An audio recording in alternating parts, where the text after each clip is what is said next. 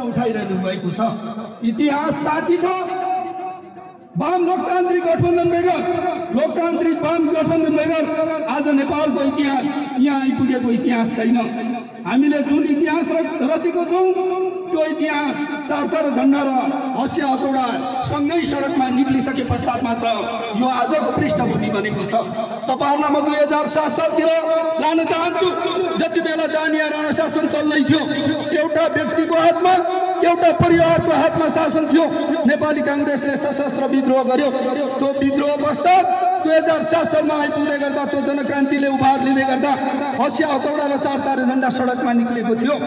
हतियार बोकेको पार्टीहरू आज दुई हजार बाहन्न सालमा फेरि नेकपा माओवादीले सशस्त्र विद्रोह सुरु गर्यो।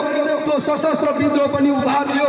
जनसागरको रूपमा परिणत भयो र फेरि पनि चार तारे झन्डा र हँसिया चौडा सँगै सडकमा निस्किसके पश्चात बैसठी त्रिसठी सालको उन्नाइस दिने सफल जनआन्दोलन भइसके पश्चात मात्रै यो गणतान्त्रिक व्यवस्था प्राप्त भएको छ।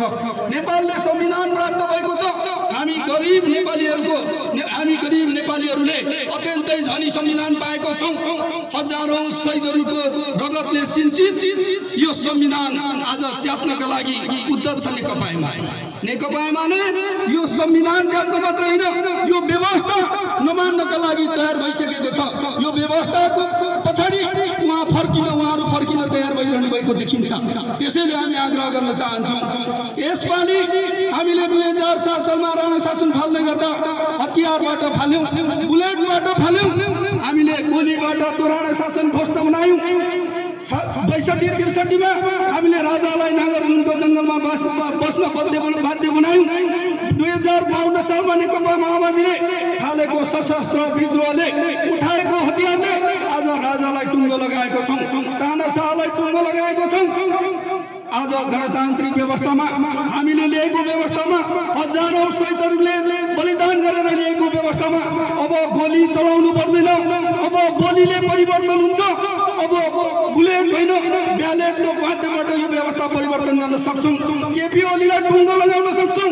राणालाई जसरी टुङ्गो लगायौँ राजालाई जसरी टुङ्गो लगायौँ मङ्सिर चार गते हामी मतपत्रको माध्यमबाट केपी ओलीलाई टुङ्गो लगाउनका लागि यो वाम लोकतान्त्रिक गठबन्धन बनेको हो। आदरणीय जनसमुदायहरू मङ्सिर चार गते हामी गोली चलाउँदैनौँ। मङ्सिर चार गते हामी गोली मात्रै चलाउँछौँ।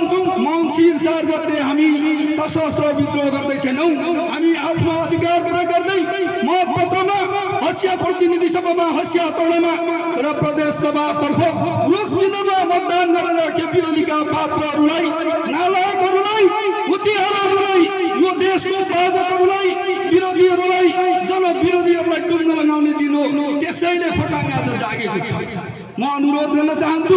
खोटाङ जिल्लामा नेकपा एमाले पटक पटक निर्वाचित भएको निर्वाचित हुने मौका पाएको छ। जलमा अनुमोदित हुने अवसर पाएको छ।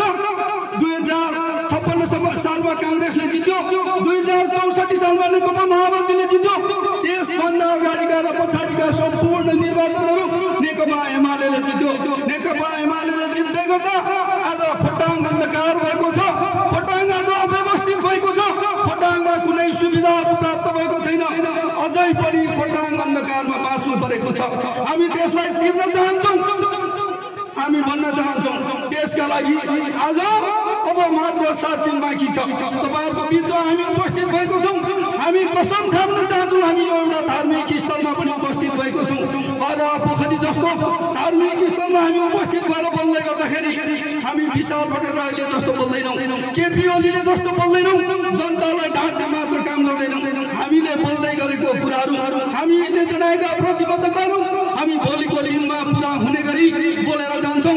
त्यसैले सबैलाई अनुरोध गर्न चाहन्छौँ। हामीलाई जतिले मतदान गर्नुहुन्छ जतिले मत मागिदिनुहुन्छ सबैलाई आग्रह गर्न चाहन्छौँ।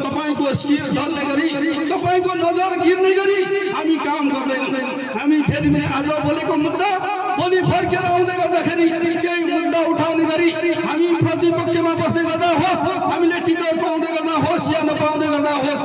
आफूलाई भोट माग्दै गर्दा होस् अथवा आफ्नो साथीलाई भोट माग्दै गर्दा होस्। कम्तीमा पनि हामीले बोलेको कुरा पुरा गरेर मात्रै तपाईँहरूको बिचमा भोट माग्न आउन चाहन्छौँ।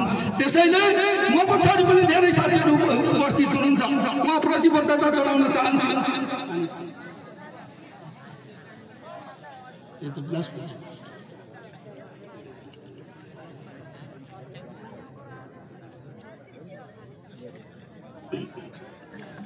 म प्रतिबद्धता जनाउन चाहन्छु। अनि अघि नेपाली काङ्ग्रेसको क्षेत्रीय कार्य समितिको सचिव प्रवीण राईजीले मागपत्र समग्र रूपमा वाम लोकतान्त्रिक गठबन्धनको तर्फबाट मागपत्र पेश गर्नुभएको छ।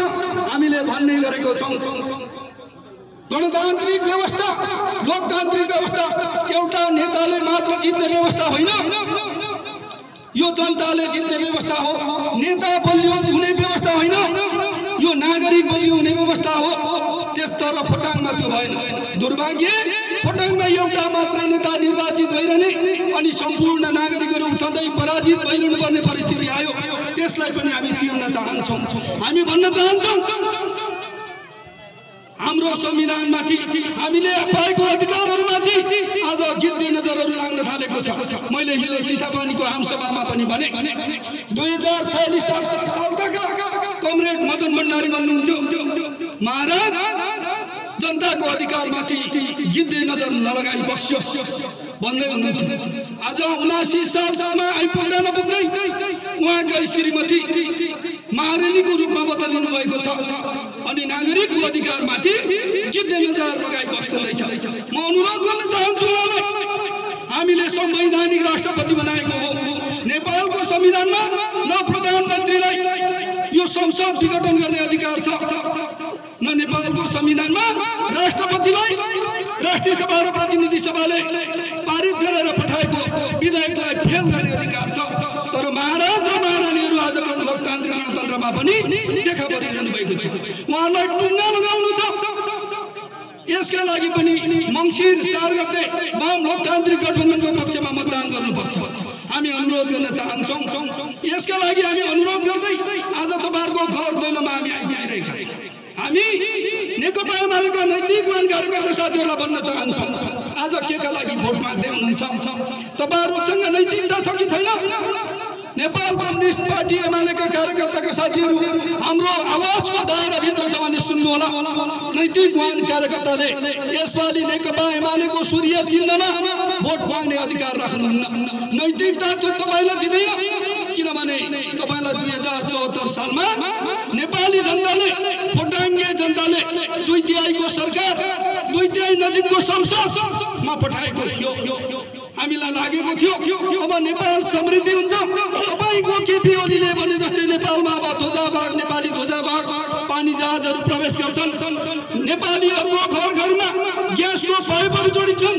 हामी त्यतातिर लागेका थियौँ। तर दुई वर्ष पुग्दा नपुग्दै किन विघटन गर्नुभयो। तपाईँ दुई तिहाईको सरकार चलाउन नसक्ने दुई तिहाईको सरकार नचलाउने आफ्नै साझेदारलाई ठेल्दै ठेल्दै पाखा लगाउने। अनि आज त्यही प्रतिनिधि सभाको लागि किन चुनाव लड्दै हुनुहुन्छ? किन भोट माग्दै हुनुहुन्छ? नैतिकवान कार्यकर्ताले शिर नझुक्ने कार्यकर्ताहरूले यसपालि सूर्यमा भोट माग्दा नैतिकताले दिँदैन। सायद त्यसैले होला मैले दक्षिण बेलका यी भूभागहरू घुम्दै गर्दा उन्चालिसवटा वार्ड घुम्दै गर्दा देखेँ नेकपा एमालेको धेरै प्रचार पनि भएको छैन। धेरै शिर ठाडो पारेर हिँड्न पनि भएको छैन। यी यस्ता कार्यक्रमहरू यो यस्ता आमसभाहरू त परै जाओस् कहीँ पनि गर्न सक्नु भएको छैन। फोटा आज जितको नजिक छ। यो हामीले मात्र जित्ने होइन। यहाँ रामकुमार राई र भूपेन्द्र राईले जित्ने मात्रै कुरा छैन। खोटाङले जित्ने कुरा हो यो। यो हामीले जित्ने कुरा हो यो। हामी सबै मतदाता यहाँको नागरिकले जित्नुपर्छ मङ्सिर चार गते। त्यसका लागि हामी अनुरोध गर्न आएको हौँ। त्यसैले म अनुरोध गर्न चाहन्छु। तपाईँलाई अघि हामीलाई प्रतिबद्धता जनाउन लगाउनु भएको छ। हामी माग राख्छौँ भन्नुभएको छ। त तपाईँहरूको अत्यन्तै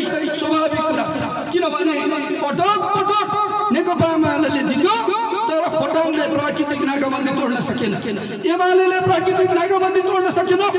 आज पनि बर्खा लाग्दै गर्दा हाम्रोमा गाडी चल्दैन। समस्या समस्या छ। स्थानीय सरकार आइसके पश्चात मात्रै अहिले थोरै बाटोहरूको नाकाहरू खोलिएका छन्।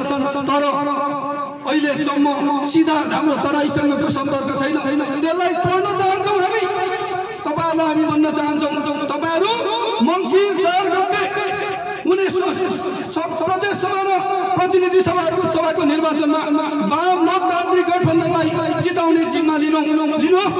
वंशिला घाट पुल बनाउने जिम्मा हामी लिन्छौँ। हामी बनाएर देखाइदिन्छौँ पाँच वर्षमा त्यो पुल। कसरी बन्दैन रहेछ?